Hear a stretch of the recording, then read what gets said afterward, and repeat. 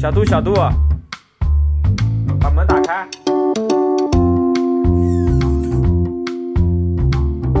平时在宿舍里啊，不太想去开门，那就用了一些我们的一些电路板，简单编了个程，啊，在门上装了一个声控的开关，另外呢，在门外面装了一个指纹解锁的一个装置。材料是自自己网网上买的一些，还有一些其他东西拼凑起来的。